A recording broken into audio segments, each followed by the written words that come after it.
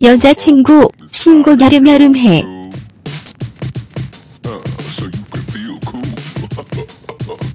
걸그룹 여자친구가 19일 컴백을 앞두고 새 콘셉트 포토를 공개했다. 여자친구는 오늘 13일 새벽 0시 공식 SNS를 통해 summer 미니 앨범 Sunny Summer, Sunny Summer 타이틀곡 여름 여름해의 콘셉트 포토를 공개하며 본격적인 컴백 초읽기에 들어갔다. 공개된 사진에는 상큼하고 정량한 여자친구의 모습이 담겼다. 여자친구는 하늘색 배경의 여름과 잘 어울리는 컬러풀한 서머룩을 입고 완벽한 여름 친구로 변신했다.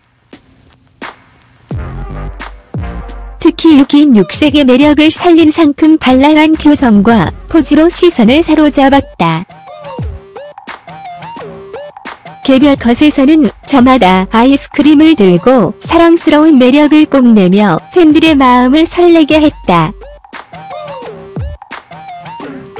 여자친구는 19일 히트메이커 이단옆차기와 첫 호흡을 맞춘 summer song 여름 여름해로 여름 사냥에 나선다. 여름 여름해는 시원한 일렉기타 사운드로 시작해 소녀들이 느끼는 여름 밤의 설렘을 담은 시원한 팝댄스곡이다.